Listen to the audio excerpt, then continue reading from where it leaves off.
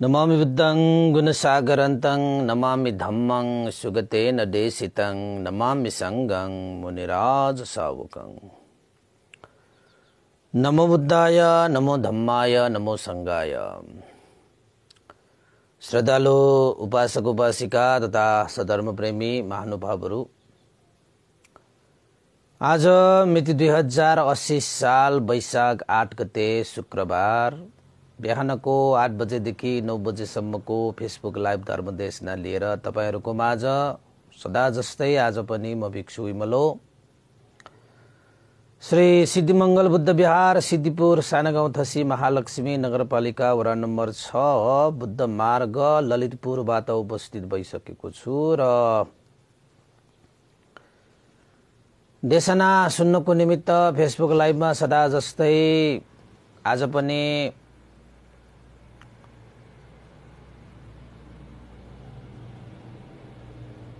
देशना सुन्नको निमित्त श्रद्धा आस्था गौरवपूर्वक फेसबुक लाइभमा जोडिरहनुहुने सम्पूर्ण देश विदेशका श्रद्धावन्त उपासक उपासिकाहरूमा मङ्गल मैत्री कामना व्यक्त गर्न चाहे। त उपासक उपासिकाहरू हिजो मात्रै औँसी समाप्त भयो सकियो।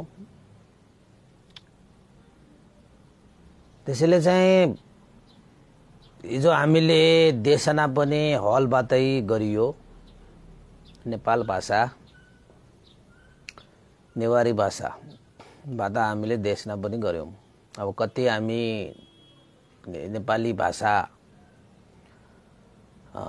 मात्रै जान्नुहुने उपासक उपासिकाहरूले त हिजोको देशनालाई त्यति राम्रोसँग बुझ्न पाइएन होला। आमाकै विषयमा थियो। आमाकै गुणको विषयमा थियो। यसै सन्दर्भमा आज पनि तपाईँहरूको लागि अब नेपाली भाषाबाट पनि आज अलिकति जति दिन भ्याउँछ हामी चाहिँ आमा बुवाकै गुणलाई स्मरण गरेर कथाहरू देशना गर्दै जाऊँ कि भन्ने सोच चाहिँ आएको थियो होइन? नभए पनि सानोतिनो भगवान् बुद्धले। देशना गर्नुभएको शब्दहरूमा अलिकति आमा बुवा भनेका के हुन् भन्ने कुरामा सर्वज्ञ तथागत भगवान् शास्त्रले कुन स्थानमा आमा बुवाले राख्नु भएको छ। भन्ने विषयमा पनि हामी अलिकति चर्चा गर्दाखेरि अहिले यो सन्दर्भमा राम्रै हुन्छ जस्तो लाग्छ। त्यसैले उपासक उपासिकाहरू भगवान् बुद्धको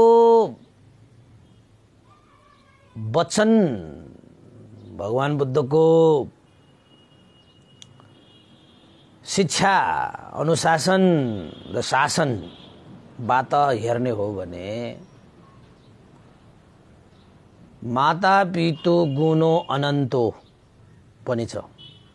यो भनेको आमा बुवाहरूको गुण भनेको अनन्त हुन्छ।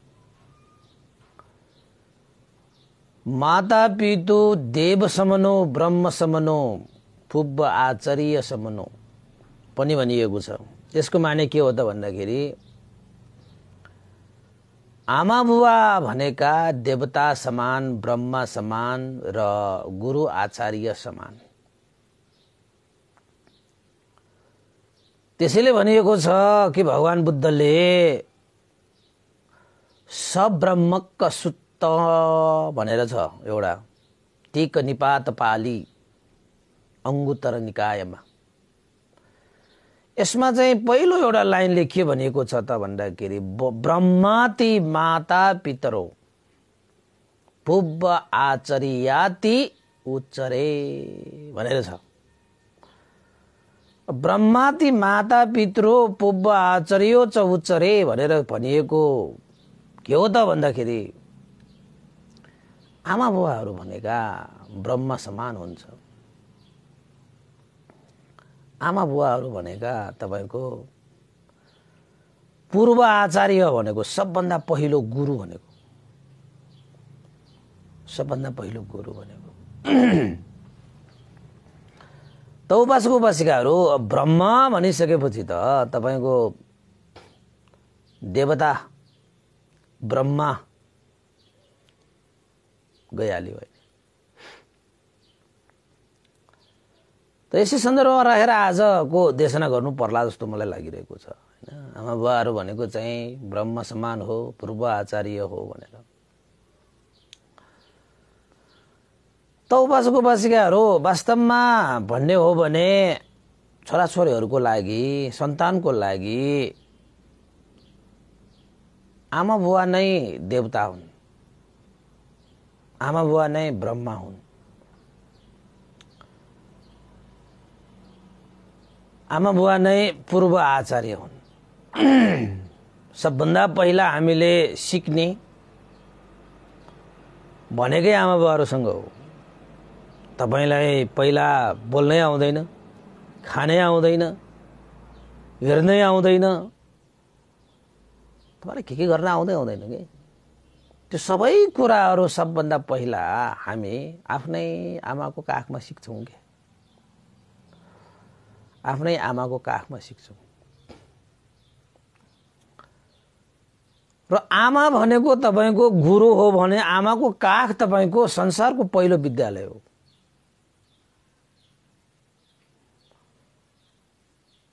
होइन? आमा जस्तो तपाईँको आमा बुवा होइन? माता पितृ भनेछ नि होइन? आमा बुवाहरू भनेको आमा बुवाहरूको जतिको हो। गुरु तपाईँको लागि अरू को हुन सक्ला? आमा बुवाको काग जत्रो जस्तो उत्कृष्ट विद्यालय यो संसारमा। कुन चाहिँ होला र? होइन र? त्यसैले चाहिँ सबभन्दा पहिला हामीले आमा बुवाको काखमा बसेर आमा बुवाबाट केही त सिकेर आएका छौँ। जसले पनि सिकेर आएको हुन्छ जसले पनि सिकेर आएको हुन्छ। अब कोही कोही त कर्म संस्कार अनुसार होइन अब अर्कै कुराहरू हुन्छ। कर्म संस्कारले नपाएको कुरा त बेग्लै कुरा भयो। त समग्रमा हेर्ने हो भने त तपाईँको आमा बुवाको काख नै छोराछोरीको लागि पहिलो विद्यालय हो भने आमा बुवा नै छोराछोरीको पहिलो गुरु आचार्य हो। मामा पापा हिँड्ने खाने डुल्ने के के गर्ने गर्ने तपाईँको चाहिँ नित्य कर्म गर्नेदेखि लिएर सबै आमा बुवाले सिकाउँछ। यो त व्यवहारिक रूपमा सिकाउने कुराहरू भयो। अर्को कुरा के सिकाउँछ त भन्दाखेरि यो समाजमा कसरी जिउनु पर्छ राम्रा नराम्रा कुराहरू पनि आमा बाबाले सिकाउनुहुन्छ। कहाँ हिँड्नुहुन्छ कहाँ हिँड्नु हुँदैन त्यो पनि आमा बाबाले सिकाउँछ। यो बोल्नुहुन्छ यो बोल्नु हुँदैन त्यो पनि आमा बाबाले सिकाउँछ। अब कोही कोही होला नि त तपाईँको चाहिँ कोही कोही आमा बाबाले त्यो सिकाएन त्यो अर्कै कुरा हो। तर साँच्चैकै आमा बुवाहरूले त छोराछोरीलाई सिकाउँछ नै। पालन पोषण गर्छ नै हुर्काउँछ नै बढाउँछ नै सिकाउँछ नै तपाईँको हो हिँड्न डुल्न बोल्न खान पिउन लगाउन होइन? सबै सिकाउँछ। ठुल्ठुला विश्वविद्यालयहरूमा जानुभन्दा पहिला हामी सबैभन्दा हामीले पहिला सुरुमा आमाको काख काख रूपी विद्यालयमा नै पढ्छौँ। होइन? ठुल्ठुला विश्वविद्यालयका गुरु आचार्यहरू हुनुभन्दा पहिला नै हामीले घरमा आफ्ना आमा बुवाहरू गुरु आचार्य पाइसकेका हुन्छौँ। त्यसैले भगवान् बुद्धले पुब्ब आचार्य च बुवाहरू भनेको पूर्व आचार्य हुन् भनेर भगवान् बुद्ध त्यत्तिकै भनेको चाहिँ होइन त्यसैले तपाईँहरूले चाहिँ गुरु भनेको चाहिँ कस्तो त भन्दाखेरि अन्धकारलाई हटाउने जो व्यक्तिहरू हुन्छन् नि उहाँहरूलाई गुरु भन्छ गु भनेको अन्धकार रु भनेको ज्योति अब अन्धकारबाट हटाएर ज्योति फैलाइदिने तपाईँको अन्धार अन्धकारमय जीवनमा ज्योति प्रकाश गरिदिने तपाईँको अध्यारो जीवनमा उज्यालो छरिदिने जो व्यक्तिहरू हुन्छन् नि यस्तालाई चाहिँ गुरु भनेर भनिन्छ। त तपाईँको जीवनमा सबभन्दा बढी ज्योति दिनको निमित्त जहिले पनि तम तयार भएर सबभन्दा पहिला तपाईँको जीवनमा प्रकाश छर्नको निमित्त तम तयार भएर आउने अग्रपन्थीमा को हुन्छ त भन्दाखेरि तपाईँको आमा बुवा नै हुन्छ। गुरु आचार्य भएन त?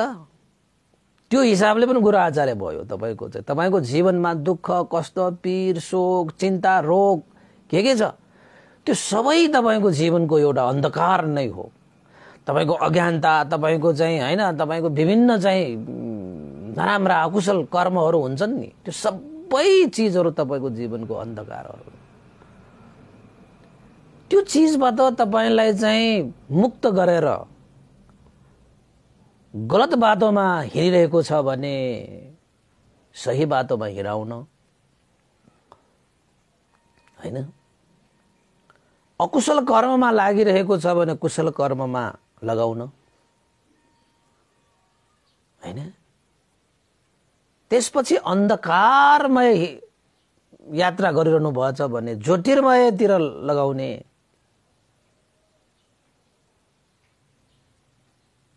होइन? तपाईँको दुःखै दुःखको तपाईँको सागरमा पनि त्यो दुःखको सागर तारेर सुखको बगरमा पुर्याइदिनको लागि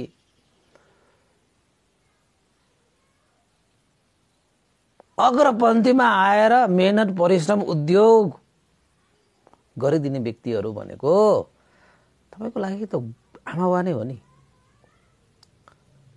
आमा बुवा नै हो नि।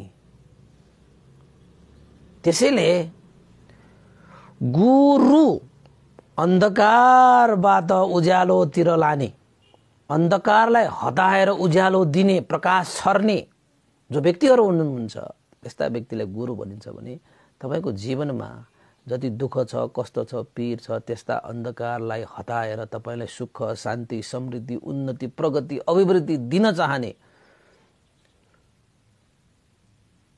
निस्वार्थ भावले मैत्र र करुणा राखेर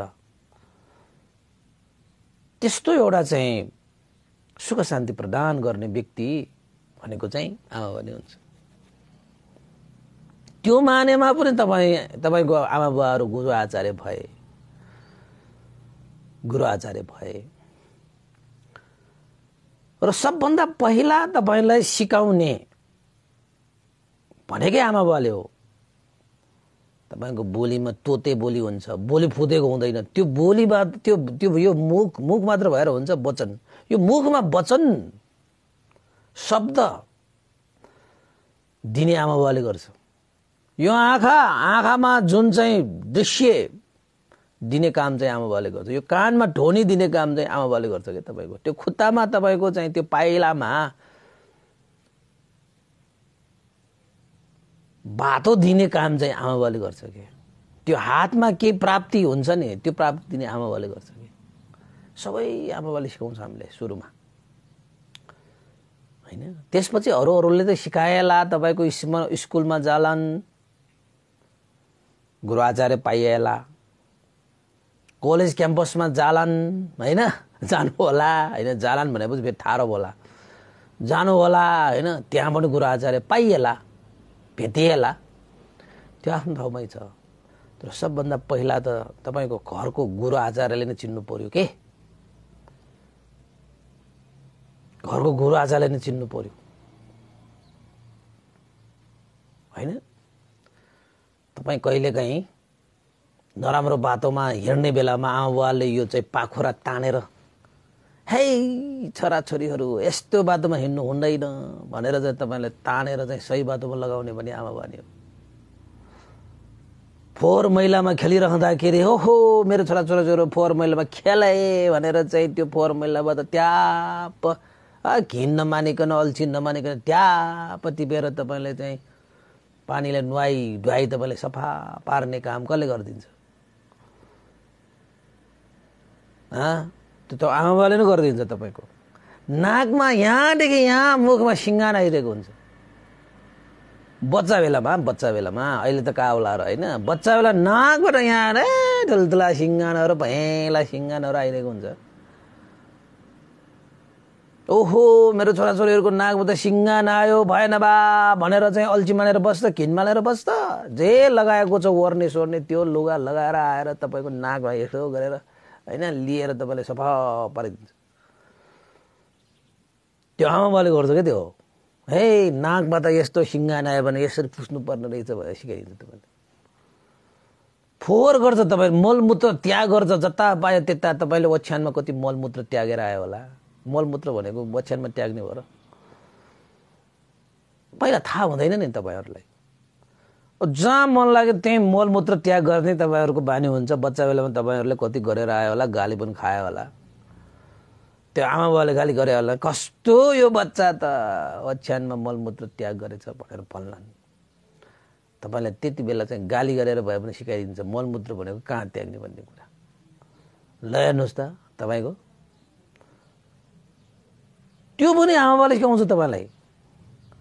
तपाईँको स्कुल कलेजमा कसैले सिकाएको छ? मलमूत्र कहाँ त्याग्ने भनेर तपाईँहरूलाई सिकाउँदैन त्यसैले तपाईँको आमा बाबा भनेको तपाईँको सबभन्दा पहिलो गुरु हो।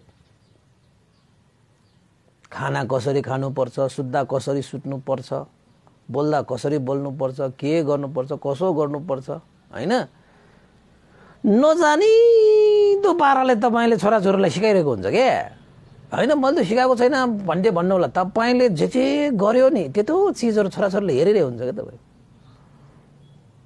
त्यहाँबाट नि तपाईँको चाहिँ छोराछोरीले तपाईँलाई तपाईँबाट धेरै कुराहरू सिकिरहेको हुन्छ। धेरै कुराहरू तपाईँ कसरी बोल्नुहुन्छ तपाईँ कसरी हिँड्नुहुन्छ तपाईँले कस्तो व्यवहार गर्नुहुन्छ रिस ला रिस आएको बेलामा गाली गर्ने होइन खुसी भएको बेलामा हाँस्ने तपाईँले जुन व्यवहार गरिरहनु भएको छ नि त्यो सबै कुराहरू त्यो त्यो बालकले तपाईँको सन्तानहरूले त्यो सानसाना सानसाना बालकहरूले त्यो बच्चाहरूले त्यो त्यो सबै चिजहरू नोटिस गरिरहेको हुन्छ क्या। उनीहरूको दिमाग त खाली हुन्छ। जे जे देख्यो जे जे सुन्यो जहाँ जहाँ गयो त्यो सबै चिजहरू उनीहरूले सिकिरहेको हुन्छ।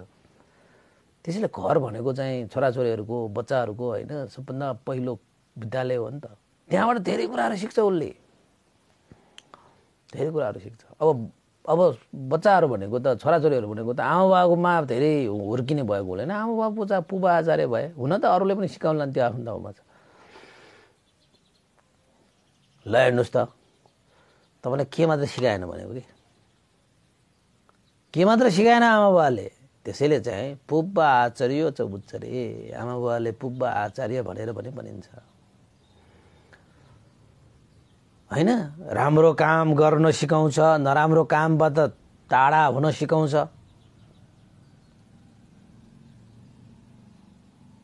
सही मार्गमा हिँड्न सिकाउँछ गलत मार्गबाट टाढा हुन सिकाउँछ। होइन र। के के सिकाइ सिकाइ सिकाउने कुराको कुरा गर्ने जाने हो भने त दिनभर लाग्छ त्यही पनि सक्दैन। त्यसैले उभा उपासक उपासिकाहरू भगवान् बुद्धले आमा बुवालाई पूर्व आचार्यको रूपमा सबभन्दा पहिलो गुरु आचार्यको रूपमा पनि अगाडि सार्नु भएको छ। त्यसैले गुरु आचार्य बिना त जीवनमा ज्योति नै हुँदैन। आँखा भइकन पनि अन्धो हुन्छ। तपाईँले यो आँखाबाट आँखा खोले पनि रातमा देखिन्छ? देखिँदैन नि। आँखा त खोलेकै हो। देखिन अगाडि चाहिँ अन्धकार भएको कारणले कालै कालो। अन्धकारै अन्धकारमा त देखिन्छ। अनि के भ्रम हुन्छ त भन्दाखेरि अगाडि त कालै कालो छ अन्धकारै अन्धकार छ। किन आफूले आँखै खोलेको देखेको पनि त्यही हो। तपाईँलाई भ्रम हुन्छ मात्र अगाडि अन्धकार मात्रै छ कालो कालो मात्रै छ। तर वास्तवमा त्यहाँ कालो कालो मात्र होइन क्या त्यहाँ धेरै चिजहरू छन्। किन नदेखेको त भन्दाखेरि ज्योति नभएको कारणले गर्दाखेरि। त गुरु आचार्यले के दिन्छ त भन्दाखेरि त्यही ज्योति दिन्छ तपाईँलाई। ज्योति दिन्छ त्यो ज्योति पाइसकेपछि यो आँखाले सही दृश्य देख्छ। भ्रममा पर्दैन। त गुरु आचार्यले पनि हाम्रो जीवनमा त्यही गर्छ। तपाईँलाई भ्रमबाट माथि उठाइदिन्छ। भ्रमबाट माथि उठाइदिन्छ। ज्योति भएन भने तपाईँको नयन आँखा कुनै अर्थ छैन।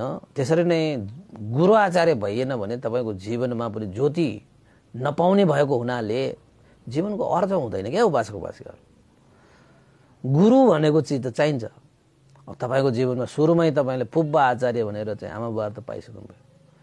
त्यसैले आमा बुवा तपाईँको जीवनको ज्योति हो। तपाईँको जीवनको ज्योति हो।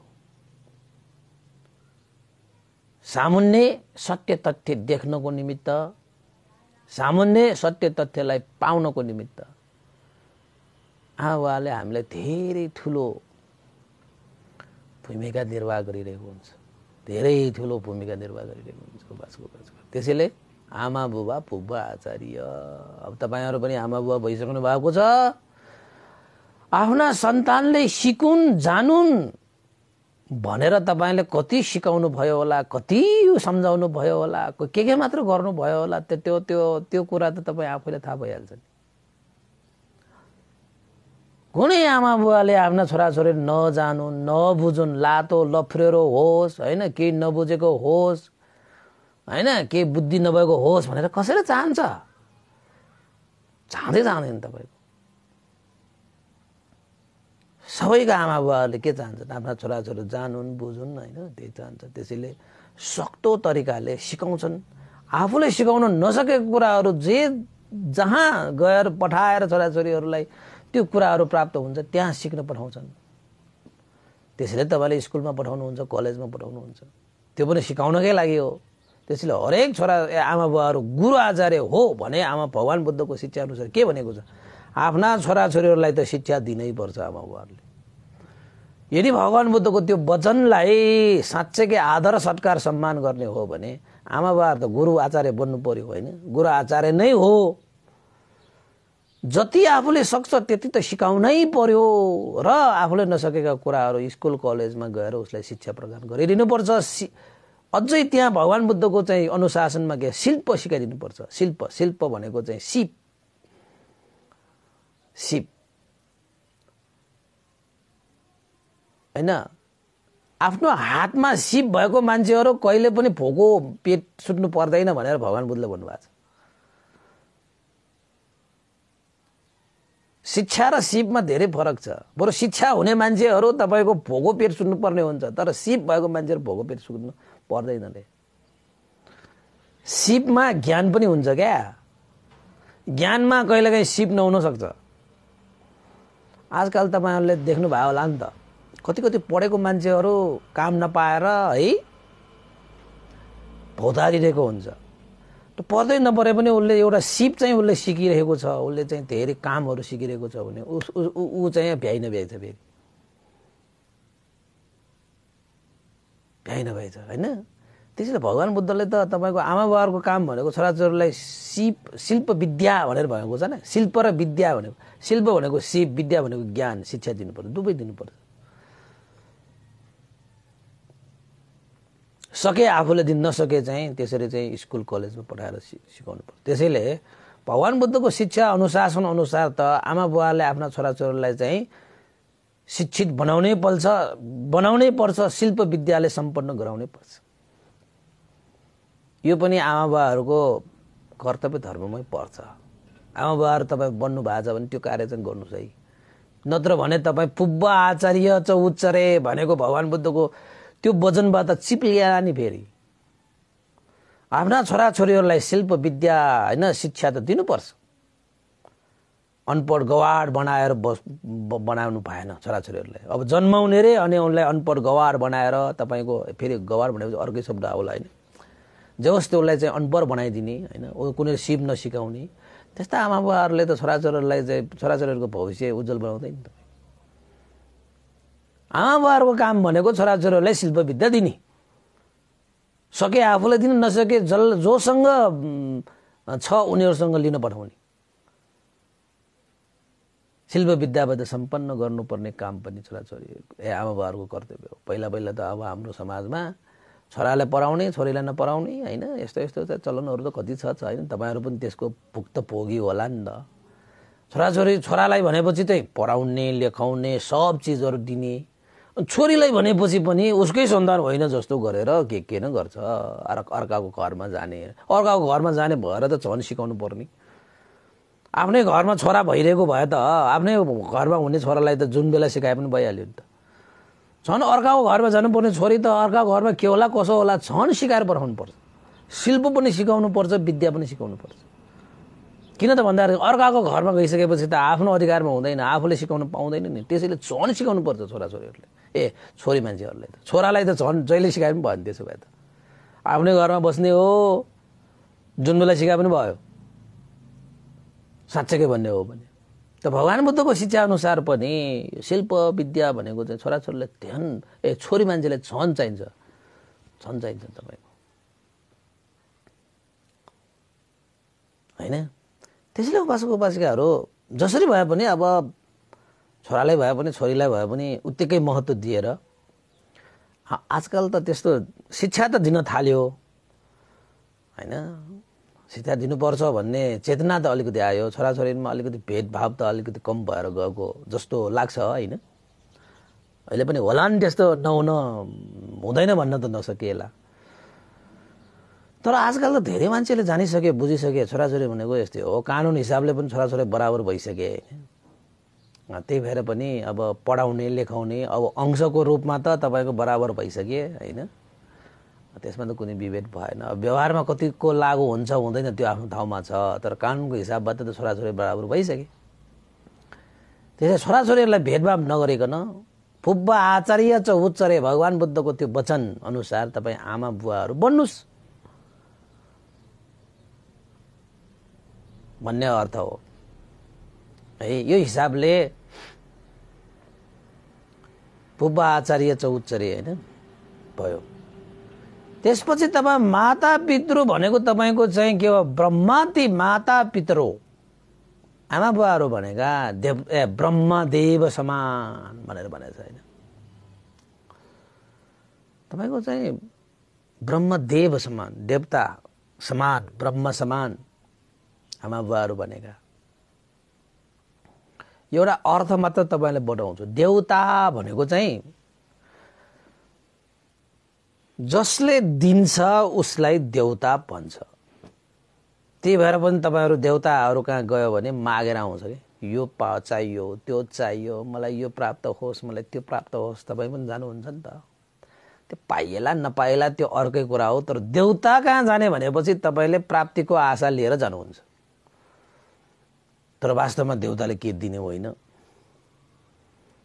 दिन्छ भनेर तपाईँले बनाएको देउता हो क्या त्यो? जति पनि तपाईँले नामहरू दिएर देउताहरू बनाउनु भएको छ नि तपाईँले बाहिर बाहिर बाहिर बाहिर बाहिर बाहिर। ती देउताहरू तपाईँले बनाएका देउताहरू। तपाईँलाई चाहिँ बनाउने देउता चाहिँ को रहेछ त भन्दाखेरि तपाईँको आमा बुवा हो नि। तपाईँको आमा बुवा हो। तपाईँलाई बनाउने देउता चाहिँ आमा बुवा हो कि फेरि? अरू देउता भनेको तपाईँले बनाएको देउताहरू त यहाँनिर मैले तपाईँलाई के भन्नु खोजेको त भन्दाखेरि आमा बाबा भनेको देउता जसले दिन्छ उसलाई देउता भनिन्छ। तपाईँले जिन्दगीभरमा जसले दिँदै दिँदैन उसका दिन्छ भनेर भौतारिरहेको छ। आशा गरेर भौतारिरहेको छ। आशै आशमा आशै आशमा। यो आशा भनेको चिज पनि कस्तो छ भने जीवित बनाउँछ क्या त्यो आशाले चाहिँ। आशा त चाहिन्छ तर सही ठाउँमा चाहियो हो क्या। जसले दिँदैन उसकोमा दिन्छ भनेर तपाईँ भौतारिनु भएको छ। जसले दिँदै गरिरहेको छ जिन्दगीमा दिएकै छ दिएकै छ दिएकै छ दिएकै छ। जसले दियो उसलाई चाहिँ फेरि तपाईँले चिन्दै चिन्दैन फेरि। जसले दिँदै दिँदैन उसका भौतारिरहेको छ भौतारिरहेको छ। त्यो भनेको के हो? जुन देउताहरू कहाँ जानु भएको छ तपाईँ? दियो त दियो तपाईँलाई?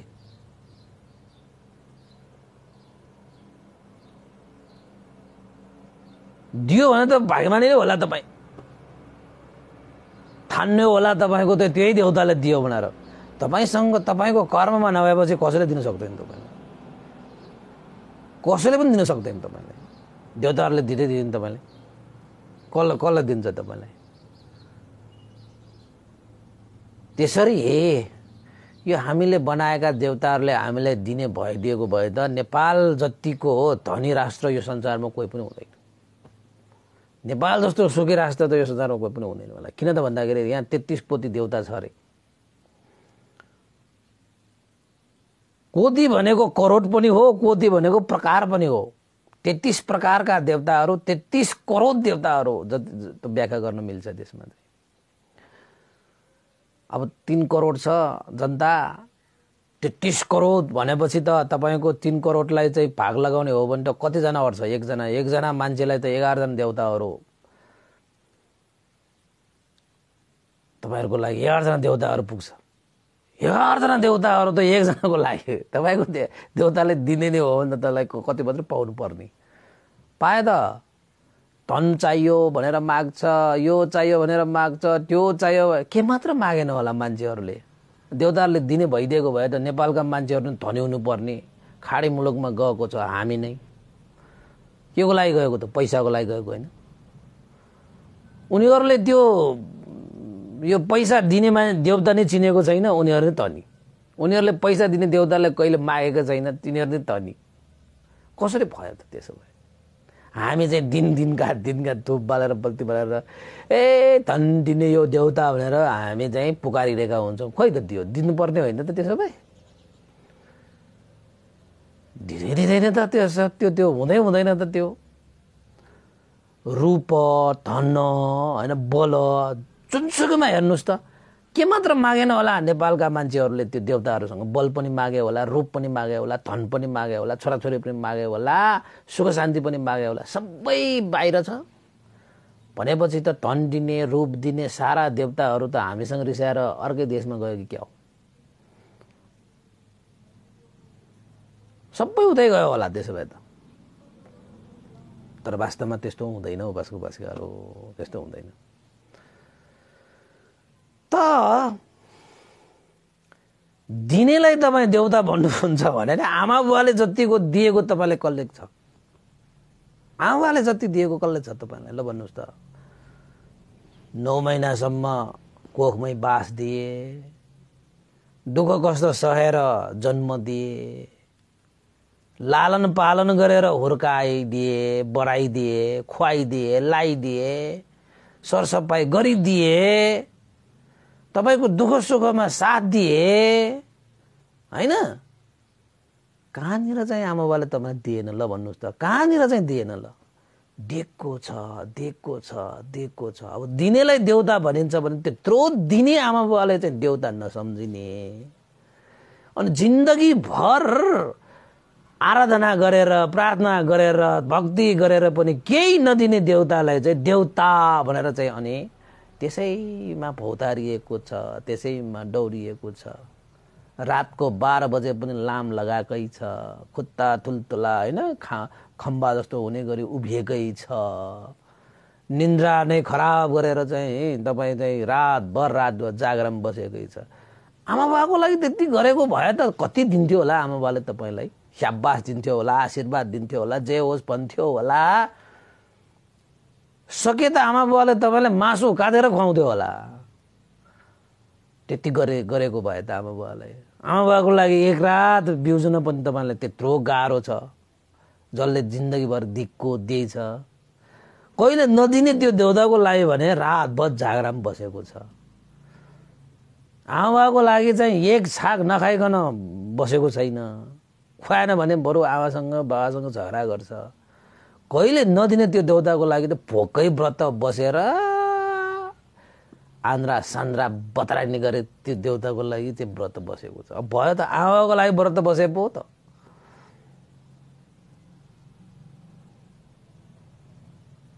त्यसो गर्नु भएको छ तपाईँहरूले? साँच्चै भनेको? तपाईँको कर्म र कर्मको फलको हिसाबबाट तपाईँले चाहिँ मूल्याङ्कन गर्ने हो भने त तपाईँले आमा गर्नुभएको जुन कर्मको हो फल त तपाईँले पाउँछ पाउँछ। किन त भन्दाखेरि उहाँ आमा बुवाहरू भनेका वास्तवमा जिउँदो देवता भनेको आमा बुवा नै हो कि? आमा नै हो। हामी चिन्दैन। दिनेलाई देउता भनिन्छ भने आमा बुवा जस्तो देउता यो संसारमा अरू को पनि हुन सक्दैन। उहाँहरूले जतिको दिएको भनेको छोराछोरीलाई कहिले पनि कसले पनि हुँदै हुँदैन। कसले पनि हुँदैन। अनि त्यस्ता चाहिँ दिने देउताहरूलाई छोडेर कहिले नदिने म त सानो बेलामा है भनिदिएको हिसाबबाट भने म त तपाईँको सानो बेलामा नै तपाईँको यो भिक्सु होइन नभनेकै समयमादेखि यो देउताहरू सौताहरू म मान्दै मान्दैन तपाईँको त। गर्नु किन दिन्छ उसले? के गरेर दिन्छ त्यसले? त्यसरी दिने भइदिएको भए त दिन रात चाहिँ देउतामा थाउने मान्छेले त सारा चिज पाउनु पर्ने नि। हाम्रा नेपालकाले देउतालाई कति मान्छौँ भन्छ? सबै चिज पाउनु पर्ने नि। कर्म संस्कार नभइकन तपाईँले पाउँदैन उपासको उपासकार के पनि पाउँदैन तपाईँले।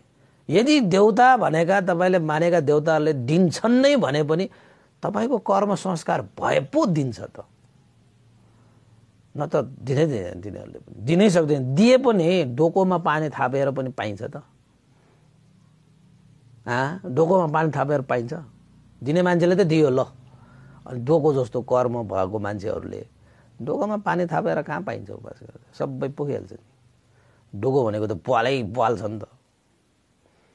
त्यसै कर्म संस्कार नभइकन तपाईँले पाउँदैन उपास उपास पाउँदै पाउँदैन। त्यसैले जिउँदो देउता तपाईँको आमा बुवा हो चिन्नुहोस् जान्नुहोस् सेवा सत्कार आदर गौरव सम्मान गर्नुहोस्। तपाईँको कर्म फलको हिसाबले तपाईँले महान आनिसंस प्राप्त हुन्छ। कसरी कसरी तपाईँलाई नै छक्क पर्ने गरी तपाईँको कर्मको फल आउँदाखेरि त छक्क पर्छ नि मान्छेहरू। चाहे त्यो कुशलको होस् चाहे त्यो अकुशलको होस्। त्यसैले भगवान् बुद्धले भन्नुभएको छ हामी आफ्नै घरको देउता चिन्दैनौँ अनि बाहिरको देउता खोज्दै हिँड्छौँ। अनि घरकै आफ्नै घरको जिउँदो देउता नचिन्ने मान्छेले बाहिरको कहिले नदेखेको कहिले नचिनेको देउता भेटे पनि तपाईँले चिन्दै चिन्दैन नि। भेट्दै भेट्दैन नि। पाउँदै पाउँदैन नि तपाईँले। आफूलाई नौ महिना गर्भमा राखेर होइन कस्तो करको तरिकाले जन्म दिएर पालन पोषण हुर्काई बढाइ यस्तो गरेर यहाँसम्म पुर्याउने देउतालाई नचिनेको मान्छेले बाहिर कुनै देउतालाई चिन्यो भेट्यो भनेर चिन्छ त। अनि आफ्नै घरको देउतालाई खुसी पार्न नसकिने त्यो मान्छेले बाहिरको देउतालाई खुसी पार्न सक्छ र। होइन र? सकै सक्दैन त्यसैले एउटा मैले कविता लेखेको छु। तपाईँलाई आज लास्टमा म त्यो कौडा पनि कविता पनि सुनाइदिन्छु है तपाईँलाई। हामीले वास्तवमा साँच्चै भन्ने हो भने हरेक दिन हामी देउताकै कोखमा बसेर आएको। होइन हामी देवपुत्र देवपुत्री हो नि त हामी। देवताकै कोखमा बास बसेर आएको देवताबाटै हामी जन्म भएको देवताकै काखमा बसेर हामी चाहिँ खेलेको हुर्केको बढेको होइन? देवताले नै हामीलाई खुवाए देवताले हामीलाई पिलाए देवताले हामीलाई सिकाए होइन? देवताले नै हामीलाई लालन पालन पोषण सबै चिजहरू देवताले नै गरे। त्यो देवताहरू भन्दै गर्दाखेरि हामीले यो पुजेका नाना थरीका पहाड पर्वत यत्र तत्र छरेका त्यस्ता होइन। तपाईँ घरकै देवताले गरे क्या त्यो सबै कुरा? त्यो घरको देउता भनेको अरू कोही होइन। त्यो त तपाईँको आमा बुवा नै तपाईँको देउता हो। आमा बुवा नै तपाईँको देउता हो। जिउँदो देउता तपाईँको हर सुखमा हर दुःखमा साथ दिने भने तपाईँलाई तपाईँकै घरकै देउताले मात्रै साथ सहयोग दिन सक्छ। बाहिरको देउताले दुःखमा तपाईँको तपाईँलाई दुःख परे छैन। तपाईँलाई सुख परे छैन। ल तपाईँलाई दुःख परेको बेलामा तपाईँको दुःख निवारण गर्नको निमित्त तपाईँको दुःखमा साथ दिनुको निमित्त कुन चाहिँ देउता आयो ल भन्नुहोस् त। कुन चाहिँ देउता आए? त्यो फलाना दक्षिणपट्टिको देउता त्यो फलाना उत्तरपट्टिको देउता त्यो ढिस्कापट्टिको देउता त्यो पूर्व पश्चिमपट्टिको देउताले आयो? कहिले आयो? तपाईँलाई दुःख पर्दाखेरि आँसु पुसी आँसु बगाइराख्दाखेरि आँसु पुस्न आयो। तपाईँलाई सम्झाउन आयो। ए नरोबा नरो किन रुन्छौ? म छु नि भन्न आयो। आएन। आयो त कुन चाहिँ देउता आयो त भन्दाखेरि तपाईँको घरको देउता आयो। त्यो देउता भनेको तपाईँको आमा बुबा आए। मेरा सन्तानलाई दुःख परे मेरा सन्तानलाई दुःख भया मैले कसरी सहन सका भनेर आउँछ त्यहाँ। आफ्नो छोराछोरीहरूको आँसु पुस्न भनेको आमा बुवा नै आउँछ। आयो नि त देउता। देउता त आउँछ देउताले आँसु पुस्नु त आउँछ तर तपाईँको घरकै देउता आउँछ। तपाईँको आमा बुवा तपाईँको जन्मदाता माता पिता नै आउँछ क्या त्यही हो तपाईँको देउता। होइन? ओहो मेरो छोराछोरीलाई दुःख पर्यो आँसु झऱ्यो मेरो छोरा सहन सक्दैन अब मेरो छोराछोरीहरूको दुःख हरण गर्नको निमित्त के गर्नु पर्यो त भनेर उसले चाहिँ सोल्युसन खोज्छ तपाईँको चाहिँ समाधान खोज्छ। कसरी खोज्छ? मैले सयवटा दुःख भोगेँ भने मेरो छोराछोरीहरूको एउटा दुःख हरण हुन्छ भने आमा बुबा सयवटा दुःख भोग्न तयार। तर आफ्ना छोराछोरीहरूको एउटा दुःख हरण होस् भन्ने उसको उद्देश्य हुन्छ। ल हेर्नुहोस् त। तपाईँको एउटा दुःख निवारण गर्नको निमित्त से एउटा दुःख भोग्न तयार भएर आउने देउता को रहेछ त? तपाईँको आमा बुवा हुन्छ तपाईँको आमा बुवा खै कुरा बुझेको? कहिले बुझ्ने होला। कालो के सेतो भइसक्यो कहिले बुझ्ने होला। तम्म परेका अनुहारहरू चाउरी परिसक्यो कहिले बुझ्ने होला। हँ? खम्बा जस्ता खुट्टाहरू लर बढाइसक्यो कहिले बुझ्ने होला। होइन? जिउ सिउहरू तपाईँ गलेर सुकेर गइसक्यो कहिले बुझ्ने होला। सबै दाँतहरू छरेर आइसक्यो कहिले बुझ्ने होला। अहिलेसम्म बुझ्न सकेको छैन भनेपछि त। त्यसैले चाँडो बुझ्नु पर्यो। जति चाँडो बुझ्यो त्यति लाभ तपाईँलाई। पुण्य प्राप्त हुन्छ तपाईँलाई। तर आमा बुवा भनेको देउता हो भन्ने कुरा यहाँबाट पनि प्रश्न हुन्छ ल छोराछोरीको खुसीको लागि छोराछोरीको खुसीको लागि आमा बाबाले के गर्छ तपाईँको चाहिँ? ओहो यो छोराछोरीहरूलाई त एउटा मैले चाहिँ मसँग भएको मसँग भएको चाहिँ तपाईँको सेवटा सुखहरू मैले त्याग गऱ्यो भने मेरा छोराछोरीहरूलाई एउटा सुख प्राप्त हुन्छ। उसको चाहिँ चाहना अनुसार उसको खुसी प्राप्त हुन्छ भने आमा बाबाले आफूसँग भएको सेवटा खुसी पनि त्यागिदिन्छ। छोराछोरीहरूको एउटा खुसीको लागि। दियो कि दिएन त्यागिदियो कि दिएन त्यत्रो त्याग गरिदिने तपाईँको लागि। भनेको आमा बुवा नै हुन्छ अरू कोही पनि हुँदैन। अरू त त्यस्तो निस्वार्थ भावले तपाईँको लागि त्यसरी चाहिँ त्याग गरिदिने। होइन? तपाईँको त्यस्तो लागि दुःख सही दिने त्याग गरिदिने यो संसारमा अरू कोही पनि हुँदैन।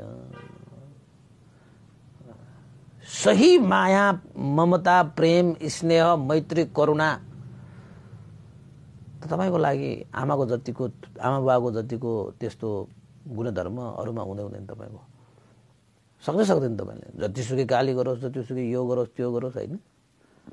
तर आमा बाबाको चाहिँ निस्वार्थ भावले तपाईँहरूको त हित नै सुख नै चाहेको हुन्छ। त्यस्तो होइन?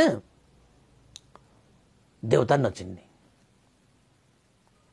कहिले तपाईँले आमा बाबालाई चाहिँ देउता भनेर धोग्नु भएको छ अहिलेसम्म? कहाँ कहाँ गएर कसलाई कसलाई के के गरेर थोगिरहेको हुन्छ? रातमा लाइन बसेर धोगिरहेको हुन्छ दिनमा क्रन्तलापुर काममा धोगिरहेको हुन्छ के के नखाइकन व्रत भनेर बसेर धोगिरहेको हुन्छ? र आफ्नै बुवा आमाले चाहिँ फेरि नाग टुग गरिरहेको हुन्छ। नाग टुग भनेको वास्ता पास्ता नि गर्दैन तपाईँको मतलबै गर्दैन। त्यस्तो हुन्छ। त्यो हिसाबले तपाईँको चाहिँ आमा बुवा देउता हो। त्यसैले हरेकले बिहान उठ्ने बित्तिकै देउता देख्छ। तपाईँले पनि आज बेउता देउता देख्नु भइसक्यो होला। यही आँखाले नदेखे पनि मनले त देख्यो होला नि त। यसो नदेखे अहिलेसम्म नदेखे आँखा यसो चिम्म गर्नुहोस् आमा बुवालाई देख्नुहोस्। देखे तपाईँले आमा देउता सही देउताको दर्शन पाए तपाईँले। त्यो ठोक्नुहोस् तपाईँको चाहिँ टाढैबाट दूर दर्शन। टाढैबाट भए पनि आमा बाबालाई दर्शन गरेर माता पिता ल होइन? हामीले बुद्धङ पुजेमी धम्मङ पुजेमी सङ्गम पुजेमी भने गुरु आचार्य पुजेमी माता पितु पुजेमी भनेर वन्दना गर्नुपर्छ तपाईँको। आशीर्वाद पाउँछ। साँच्चै पाउँछ तपाईँको। होइन? त बिहान उठ्ने बित्तिकै देखिएको ब्रह्मा ब्रह्म देखिएका देवतालाई तपाईँले चिनेर आदर सत्कार सम्मान सेवा होइन? के के गर्नुपर्छ गर्नुहोस्। त्यो सबै चिजहरू चाहिँ त्यो पूजा सत्कार सम्मान भएकै हुन्छ। भक्ति भाव गरेको हुन्छ। सबै चिजहरू सकिन्छ। त्यसरी चाहिँ आफ्नो घरका देवताहरूलाई चिन्ने छोराछोरीहरूले आमा बुवालाई सत्कार सम्मान गर्ने छोराछोरीहरू देखेर यो संसारमा भएका साँच्चैकै देवताहरू कोही छन् भने पनि ती देवताहरू पनि ती छोराछोरीदेखि धेरै प्रसन्न हुन्छन् र ती छोराछोरीलाई रक्षा गर्छ। अरू बाहिरको देवताहरूले पनि बाहिरको देवताहरूले पनि। होइन? त घरकै देउतालाई खुसी नपारिकन दुःख दिएर कष्ट दिएर घरकै मान्छेको मन दुखाएर घरकै देउताहरूको चित्त दुखाएर बाहिर आएर भक्तिभाव गरेर आराधना प्रार्थना गर्न आए पनि कोही देउताहरू खुसी हुनेवाला छैन तपाईँसँग। कोही देउताहरू पनि खुसी हुनेवाला छैन। त्यस्तो छ उपासक उपासिकाहरू त्यस्तो छ। होइन? देउताको हिसाबबाट त्यो। तपाईँलाई दिएको दे दिएको दे गर्ने। देउताहरू साँच्चै देउताहरू भनेको त आमा बुवा हो। र अर्को ब्रह्माति माता विद्रोह भने ब्रह्मा समान पनि आमा बुवाहरू हुनुहुन्छ। तपाईँहरूले चाहिँ यो ब्रह्मदेवको तपाईँले मैले पहिला पनि बताइसकेँ यो अहिले सम्झनाको जस्तो यो सन्दर्भ आइहालेको हुनाले तपाईँले मैले बताइहालेँ। हामीलाई चाहिँ यसो हाम्रो कल्पनामा के हुन्छ त भन्दाखेरि ब्रह्माहरूको त चारवटा टाउको हुन्छ चारै दिशामा फर्किरहेको शिर चारवटा शिरहरू हुन्छ। कसरी हुन्छ? ल हेर्नुहोस् कसरी हुन्छ शिर चारवटा? त्यो हुँदै नहुने कुरा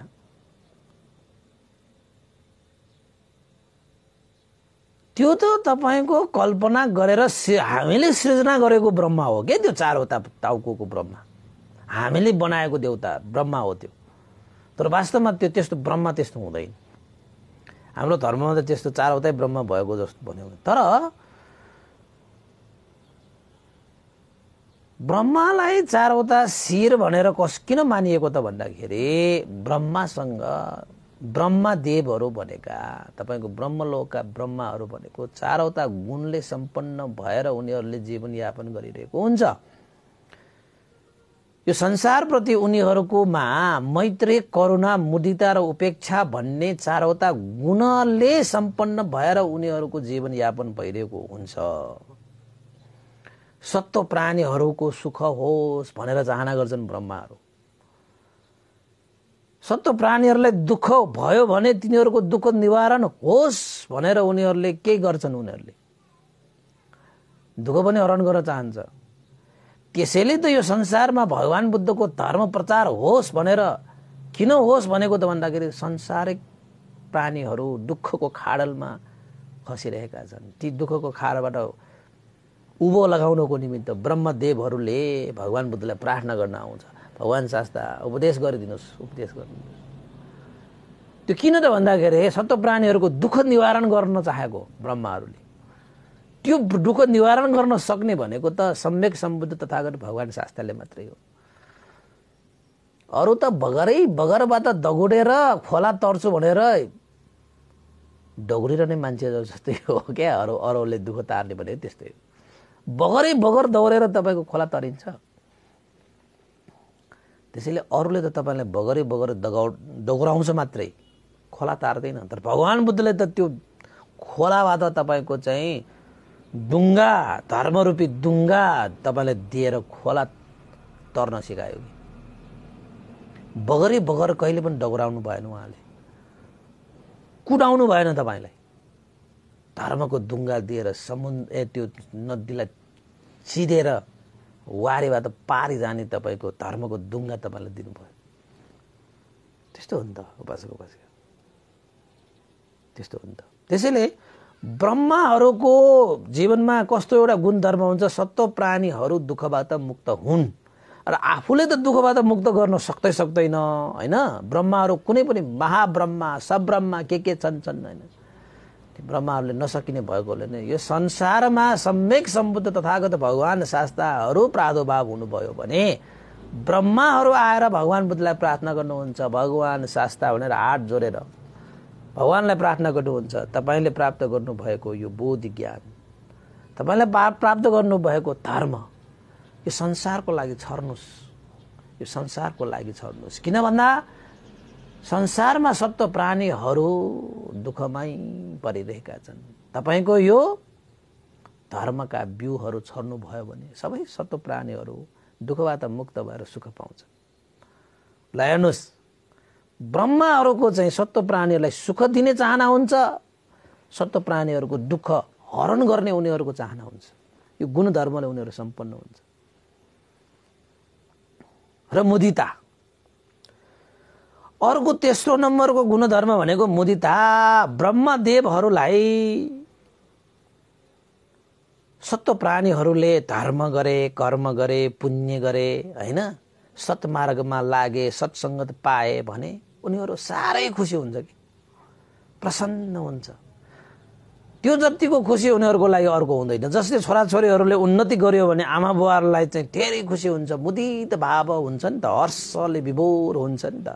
त्यसरी नै सत्व प्राणीहरूले धर्म गरे कर्म गरे सत्मार्गमा लाग्यो भने ब्रह्मदेवहरू खुसी हुन्छ। त्यसैले चाहिँ देव र ब्रह्माहरूलाई खुसी पार्ने हो भने तपाईँ सत्मार्गमा लगा लाउ सत्वानमा लाग्नुहोस् सत्कर्म गर्नुहोस् सत्पुरुषहरूको सत्सङ्गत गर्नुहोस् सुकर्महरू गर्नुहोस् देवता र ब्रह्माहरू तपाईँदेखि प्रसन्न हर्ष विभोरले उनीहरू खुसी भइरहेको हुन्छ। किन त भन्दाखेरि तपाईँले कुशल कर्म गरे भने त तपाईँले पुण्य अनुमोदन गर्नुहुन्छ नि त। पुण्य अनुमोदन गरिसकेपछि देवताहरूलाई पनि प्राप्त हुन्छ नि त। देवताहरूलाई पुण्य प्राप्त भ गरे भने उनीहरूले देव सुख भोग्न पाउँछ बढी उनीहरूले सुख उनीहरूको जीवनलाई सुख दिएको जस्तो भयो नि त। त्यो ब्रह्माहरू पनि तपाईँको सारालाई तपाईँको आफ्नै सन्तान जस्तो मानेर होइन? बस्ने सत्व प्राणीहरूले राम्रो गरेको हेर्न चाहन्छ। विशेष त मनुष्यहरूले। ओहो। प्राणीहरू मध्येमा सर्वश्रेष्ठ प्राणीहरू मनुष्य। उनीहरूले पुण्य गरे धर्म गरे यो संसारमा धर्महरू वृद्धि भयो भने ब्रह्महरू खुसी हुन्छ। त्यस्तो हो नि त। मुदित भाव हुन्छ कि। हाम्रो सुख शान्तिको उन्नति प्रगति हुँदाखेरि देवता ब्रह्माहरू खुसी हुन्छ। त्यसले ब्रह्मदेवहरू देवताहरूलाई तपाईँले चाहिँ पूजाआजा सत्कार सम्मान गरेर खुसी हुने होइन उनीहरू? तपाईँ सत्मार्गमा लाग्नुभयो सुकर्ममा लाग्नुभयो धर्म कर्ममा लाग्नुभयो भने खुसी हुने हो। उनीहरू मुदित भाव हर्ष विबोल हुने हो।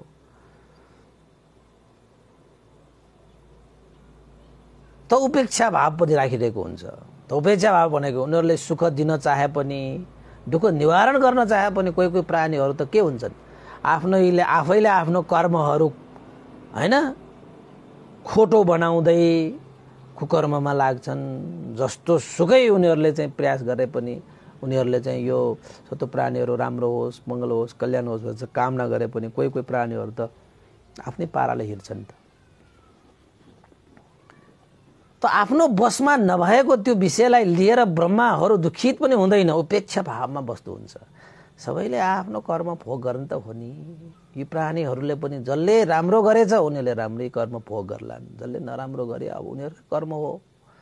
हामीले त सुख होस् शान्ति होस् दुःख निवारण गरोस् भनेर त प्रयास त गरेकै हो कामना त गरेकै हो।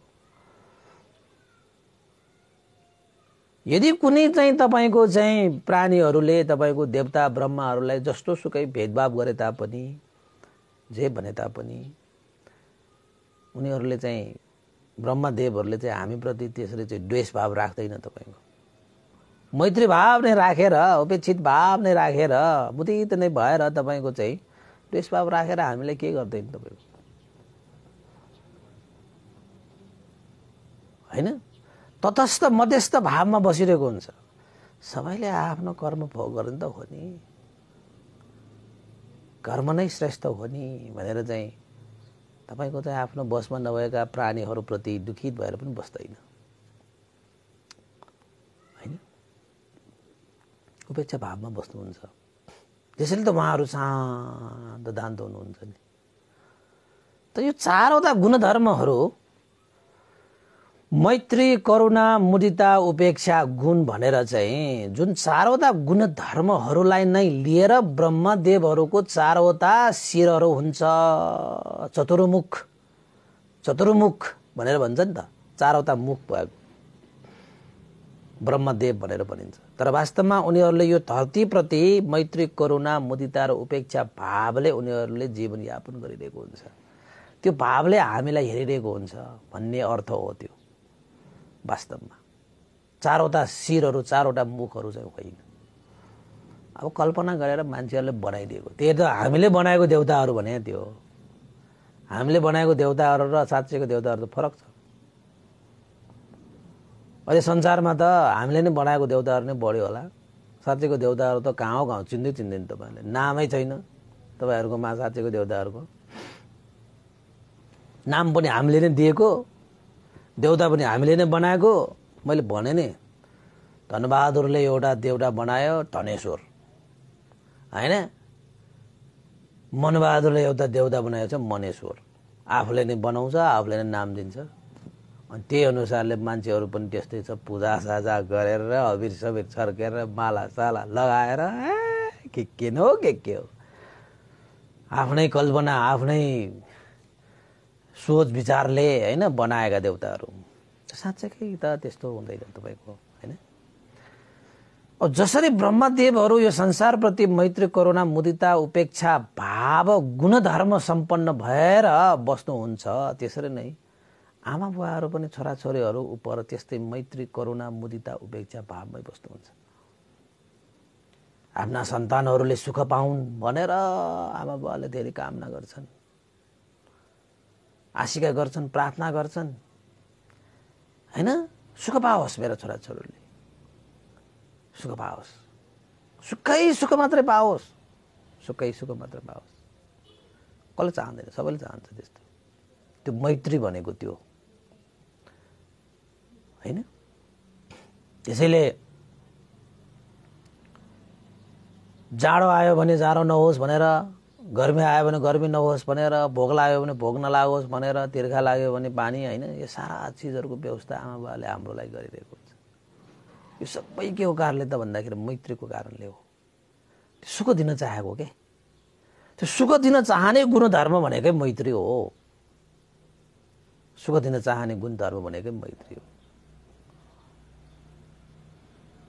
होइन? त्यसपछि आमा बाबाहरूको चाहिँ गुणधर्म अर्को के हुन्छ त भन्दाखेरि करुणा पनि हुन्छ। छोराछोरीहरूको दुःख निवारण गर्ने। छोराछोरीलाई दुःख भयो भने त्यो हेरेर बस्न सक्दैन बाबाले त्यो दुःखलाई कसरी निवारण गर्ने भनेर चाहिँ आमा चाहिँ दुःख निवारणको उपायहरू खोज्छ खोज्छ खोज्छ। जसरी भयो भने त्यो दुःख निवारण गर्नुको निमित्त आमा बाबाले प्रयास गर्छ। त्यसैले छोराछोरीहरूको दुःखलाई निवारण गर्ने आमा बुवाहरूमा त्यस्तो स्वभाव गुणधर्महरू हुन्छन्। सुख दिने त भइहाल्यो त्यही पनि छोराछोरीहरूको दुःख पनि निवारण गर्ने उनीहरूको स्वभाव हुन्छ। र अर्को मुदिता भाव भनेको कस्तो त भन्दाखेरि जब छोराछोरीहरू उन्नति गर्छ प्रगति गर्छ छोराछोरीहरूको जय हुन्छ कल्याण हुन्छ मङ्गल हुन्छ यो संसारमा आमा बुवा जति प्रसन्न हुने यो संसारमा अरू कोही पनि हुन सक्दैन। मुदित भावमा बस्ने ईर्ष्या भाव रिस भाव भनेको हुँदै हुँदैन तपाईँको। छोराछोरीहरूको प्रगति उन्नति वृद्धि देखेर त आमा बाबाहरू त खुसी प्रसन्न मुदित भावले बस्दा ओहो मेरो छोराछोरीहरूको उन्नति भयो प्रगति भयो भनेर। निस्वार्थ भावले प्रसन्न हर्षोल्लास हुने व्यक्ति भनेको तपाईँको आमा बुवा नै हो। त्यसैले आमा बाबाहरू भनेको छोराछोरीहरूको उन्नतिमा प्रसन्न हुने स्वभाव भएको हुनाले मुदिता गुणधर्मले सम्पन्न भएका भनेर भनिन्छ। त्यसले उपेक्षा भाव भनेर चाहिँ तपाईँको छोराछोरीलाई हुर्काइसकेपछि बढाइसकेपछि आफ्नै खुट्टामा उभ्याइसकेपछि एक त अब त मेरो छोराछोरीहरू अब त आफ्नै खुट्टामा उभिन सक्यो। अब मेरो छोराछोरीले आफ्नो जीवनयापन गर्न सक्ने भए भनेर दुःख भएर बस्ने आमा बुवाहरू हुन्छन् उपेक्षित भाव राख्छन्। त कहिलेकाहीँ आमा बुवाहरूप्रति नै छोराछोरीहरूले तपाईँको चाहिँ द्वेष भाव राखेर यता यस्तो उस्तो कार्यहरू गरे पनि अब भन्न त यसरीसम्म भनिएको छ छोराछोरीले आमा बाबालाई लात्ताले हिर्काए पनि छोराछोरी नै हो मेरो भनेर चाहिँ क्षमा भाव दिन सक्ने।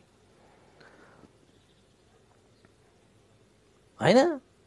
मेरा सन्तानहरू अज्ञानी छ ज्ञानी भएपछि उसले बुझिहाल्छन् नि। भनेर गाली गरोस्। या चाहिँ अर्कै किसिमको कुनै कार्यहरू गरोस्। तपाईँलाई क्षमा दिन सक्ने भनेको आमा नै हो कि? किन भन्दाखेरि उपेक्षित भावमा बस्न सक्छ। तटस्थ भएर बस्न सक्छ अरू सक्दैन तपाईँको। तपाईँले अरूलाई चाहिँ एकचोटि यसो तपाईँको चाहिँ केही सानोतिनो तपाईँले गल्ती गरिहाल्नुहोस्। तपाईँले अरूले तपाईँले क्षमा गर्दैन। जिन्दगीभरलाई पुग्यो अब हेर्दै हेर्दैन तपाईँ चिन्दै चिन्दैन अब। तर आमा बुवाहरूलाई तपाईँ छोराछोरीले जतिसुकै गल्ती गरे पनि त्यतिपल्ट नै क्षमा दिन सक्ने गुणधर्म भनेको आमा बुवा मात्रै हुन्छ। किन भन्दाखेरि उनीहरूको उपेक्षा भावमा बस्न सक्ने क्षमता हुन्छ। तटस्थ मध्यस्थ होइन दुःख आए पनि आमा छोराछोरीहरूबाट दुःख आए पनि त्यस्तै हो सुख आए पनि त्यस्तै। दुःख सुखमा तपाईँको चाहिँ बस्न सक्ने कि? छोराछोरीको दुःख सुखमै बस्न सक्ने उनीहरूको गुणधर्म हुन्छ। उपेक्षित भाव राखेर बस्न सक्ने हुन्छ। अरू बस्न सक्छ सक्दैन नि। तर आमा बुवाले तपाईँको छोराछोरीको त्यस्तो स्वभाव गुणधर्म पनि जिउन सक्ने बाबाहरू हुन्छ। छोराछोरीहरूको हरेक गल्तीलाई क्षमा दिने छोराछोरीहरूको भुललाई चाहिँ सुधार्दै छोराछोरीहरूलाई चाहिँ अवश्य पनि उन्नतिको प्रगति गराउनको निमित्त उनीहरूको हर दुःख सुखमा साथ दिएर उनीहरूलाई चाहिँ एउटा सक्षम होइन? बनाउनुको निमित्त आमा बाबाले कति प्रयास गर्छ। उपेक्षित भावमा बसेर तटस्थ बटिस्थ भावमा बसेर हरेकमा छोराछोरीहरूको काम कर्तव्य व्यवहार हरेक चिजहरूमा उपेक्षित भाव भएर बस्न सक्ने। मेरा छोराछोरीहरू आफ्नै खुट्टामा उभिन सके सकिन्छ होला होइन? भनेर आशा लिएर यसो उसो गरेर गर्ने सबै आमा बाबा हुन्छ तपाईँको त्यसैले यो चाहिँ आमा बुवाहरू भनेको तपाईँको जीवनमा पनि मैत्री करुणा मुदिता र उपेक्षा यो चारवटा गुणधर्महरूले सम्पन्न भएर तपाईँलाई हर हमेसा छत्र छारी दिने। भनेको आमा बाबाहरू हुन्छन्। त्यसै नै चतुर ब्रह्म विहार भनेको ब्रह्माहरूले पनि यही चारवटा गुणधर्मलाई आफ्नो जीवनमा धारण गरेर पालन गरेर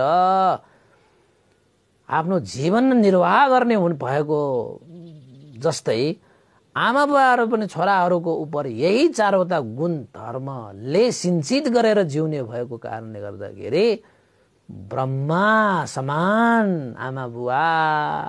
ब्रह्मा र आमा बुवामा के पनि फरक छैन छोराछोरीको लागि। बरु त्यो ब्रह्माले तपाईँलाई मैत्री करुणा मुदिदा उपेक्षा राख्न छुट्टिएला होइन? के के होला त्यो अर्कै कुरा हो। तर तपाईँको आमा बाबाले तपाईँलाई त्यो मैत्री करुणा मुदिदा उपेक्षा गुणधर्मबाट त्यो छत्र छारेबाट तपाईँलाई कहिले पनि वञ्चित गर्दैन। त्यो चाहिँ तपाईँ ढुक्क भएर बस्नुहोस्। त्यसैले तपाईँको हो साँच्चैकै ब्रह्मा भनेको त जिउँदो ब्रह्मा तपाईँले देख्ने ब्रह्मा भनेको त तपाईँको आमा बुवा हो। तपाईँको आमा बुवा हो। बुझ्नुभयो? त्यसैले आमा बुवाहरू भनेको देवता र ब्रह्मा समान पुब्ब आचार्य समान ब्रह्माति माता पितर हो पुब्ब आचार्य ती उच्च रे पुब्ब आचार्य ती उच्च रे भनेर भनिएको उपासको उपासिका ल त आज चाहिँ नौ पनि बजेर धेरै नै आइसक्यो। आजलाई त यति गर्नु पर्ला भोलि पनि आमा बाबाकै विषयमा चाहिँ अलिकति हामीले चाहिँ छलफल गर्नु पर्ला। आजको लागि चाहिँ यो यति नै गर्नु पर्ला उपासक उपासकलाई सुनिरहनु धेरै धेरै साधुवाद छ धेरै धेरै साधुवाद छ है। र हिजो चाहिँ उपासक उपासिकाहरूले चाहिँ आमाको नाममा धेरै उपासक उपासिकाहरूले यहाँ पुण्य सञ्चित गर्नुभएको थियो है। यहाँ चाहिँ धेरै थियो। त आज विशेष विशेष गरी त विशेष गरी आज चाहिँ आक्रिसा साक्यको जन्मदिनको उपलक्ष्यमा परित्राण पाठ गरिदिनु हुन भनेर धर्म पूजा स्वरूप यो रेगाट से पनि श्रद्धा दान व्यक्त गरेर ल्याउनु भएको छ। उहाँलाई पनि धेरै धेरै साधुवाद छ। है त्यस्तै गरी तपाईँको अरू पनि उपासक उपासिकाहरू हुनुहुन्छ। है हिजो हाम्रो एकजना उपासिका हुनुहुन्थ्यो। उहाँ उपासिका चाहिँ यहाँ नाम चाहिँ यहाँ के छ?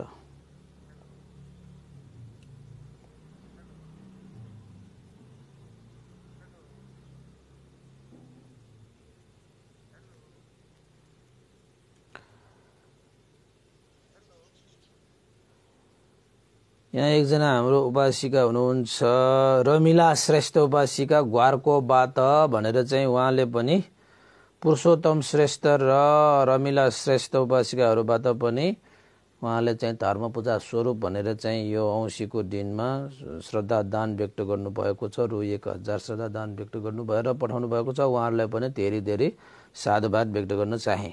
है अनि त्यस्तै गरी यहाँ हाम्रा एकजना उपासिका थियो यहाँ चाहिँ छुटिरहेको होला।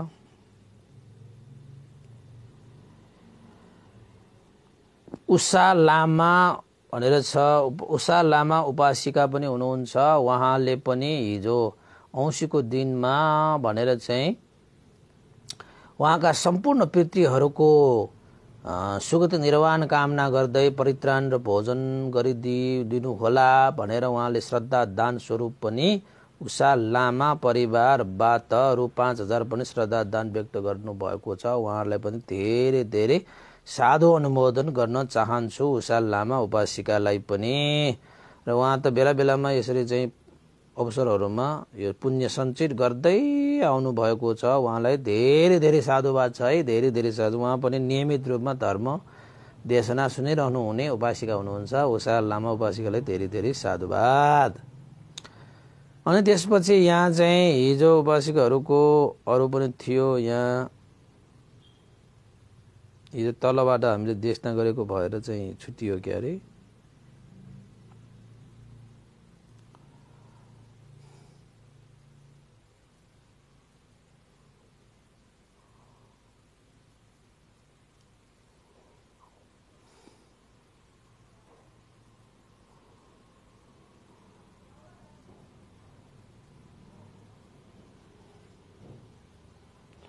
र केही त्यस्तो छुट्टिएको छ भने भोलि बनाउला आजलाई चाहिँ ढिला पनि भइसक्यो। ल त उपासक उपासक आज पनि हामी पुण्यानुम गरौँ है। हाम्रा बितेर जानुभएका कोही तपाईँहरूको आमा बुवाहरू हुनुहुन्छ भने उहाँहरूलाई पनि यो पुण्य प्राप्त भई उहाँहरूको सुगति निर्माण कामना गरौँ। र जीवितमान हुनुहुन्छ भने यो देशना सुनेर प्रसन्न भएर आफ्नो छोराछोरीहरूप्रति आफ्नो चाहिँ चतुर्ब्रह्म बिहार छत्रछारीमा आफ्ना छोराछोरीलाई राख्न सकुन्। र छोराछोरीहरूले पनि आफ्नो बुवा आमाहरूको लागि त्यसरी नै ब्रह्मा समान आफ्ना बुवाहरू आमाहरू भनेर गुण स्मरण गर्न सकोस् भन्ने आशा गर्दै पुण्य अनुमोदन चाहे र यो पुण्यको अनुभवले श्रद्धेय गुरुवर ज्ञान पुण्यको मास्टर भन्दै लगायत श्रद्धेय गुरुवर स्यादव पण्डित योगस लगायत सम्पूर्ण गुरुजनहरूमा देवता मनुष्य सत्व प्राणी तपाईँ हामी सबैका बितेर जानुभएका ज्ञाति बन्धुहरूको लागि पनि यो पुण्य प्राप्त भई उहाँहरूको जीवन पनि सुखमय शान्तिमय होस् भन्दै पुण्य अनुमोदन चाहिँ। पाउँथ्यो सब इदं नो ज्ञातिनं होतु सुखितावन्तु ज्ञातयो। ඉදං නෝ ඥාතිනං හෝතු සුඛිතාවන්තු ඥාතයෝ. ඉදං නෝ ඥාතිනං හෝතු සුඛිතාවන්තු ඥාතයෝ. ඒතාවතා සම්මේහි සම්බතං පුුණ්‍ය සම්පදං සබ්බේ දේවානුමෝදන්තු. සම්බ සම්පත්ති සිද්ධියා ඒතාවතා සම්මේහි සම්බතං පුුණ්‍ය සම්පදං සබ්බේ සත්තානුමෝදන්තු සම්බ සම්පත්ති සිද්ධියා ඒතාවතා සම්මේහි සම්බතං පුුණ්‍ය සම්පදං සබ්බේ භූතානුමෝදන්තු සම්බ සම්පත්ති සිද්ධියා साधु साधु साधु। भवतु सब मङ्गलं सबैको जय होस् मङ्गल होस् कल्याण होस् सबैलाई साधुवाद।